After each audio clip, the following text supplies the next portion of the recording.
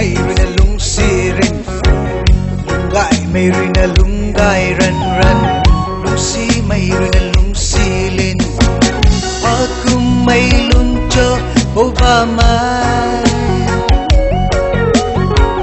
How makinacha?